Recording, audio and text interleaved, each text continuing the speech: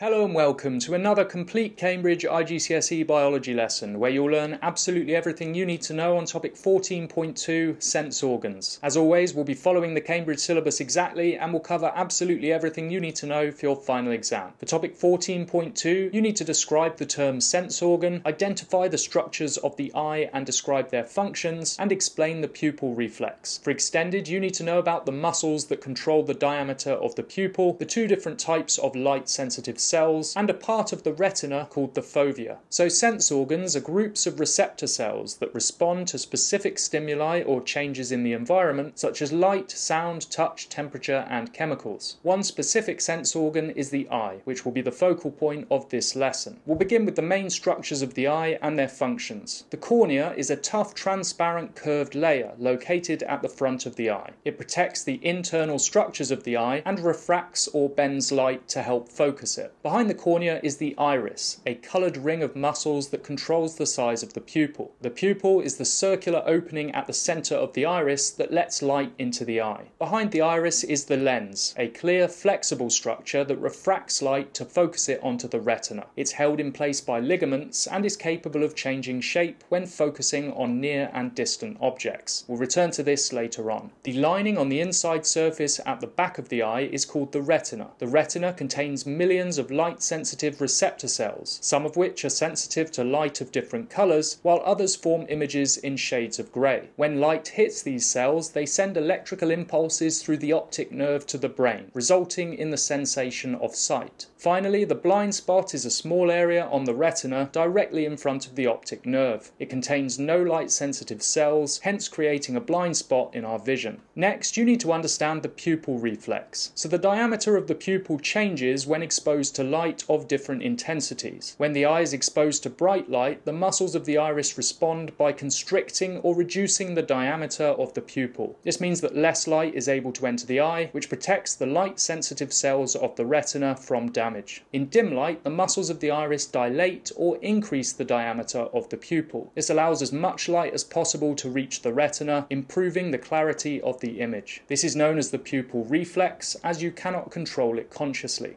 Okay, so that's everything for core, so we'll move on now to the extended content, beginning with some additional information on the pupil reflex. The diameter of the pupil is altered by the actions of the antagonistic muscles in the iris, which are the circular muscles and the radial muscles. Antagonistic muscles are pairs of muscles that oppose each other in their actions. As one muscle contracts, the other relaxes to allow the movement to occur. When light intensity is high, the circular muscle contracts and the radial muscle relaxes. This constricts constricts the pupil and reduces the intensity of light entering the eye. In low light intensities, the radial muscle contracts and the circular muscle relaxes. This dilates or enlarges the pupil, allowing more light to enter. The eye's ability to adjust its focus on objects that are near or far is known as accommodation. The lens is held in place by suspensory ligaments that are connected to a circular band of muscle called the ciliary muscle. When focusing on a distant object, the ciliary muscle relaxes and widens, pulling on the suspensory ligaments. This stretches and flattens the flexible lens, reducing the angle of refraction. The eye is now accommodated for distant vision. When focusing on a near object, the ciliary muscle contracts, which constricts the circle of muscle and reduces tension on the suspensory ligaments and lens. The lens returns to its relaxed convex shape, increasing the angle of refraction and focusing light onto the retina. There are two types of light sensitive cells in the retina rods and cones. The cones enable us to distinguish colours in bright light, while the rods are sensitive to low intensities of light and play an important role in night vision. The images we form at night appear in shades of grey, as the intensity of the light is insufficient to stimulate the cone cells. There are thought to be three different types of cone cell. One type responds best to red light, one to green, and one to blue. Rod cells are found all over the retina, except at the blind spot and fovea, while most of the cone cells are concentrated at the fovea. The fovea is a small depression at the center of the retina that's responsible for central vision. It's the point at which visual acuity, or the ability to identify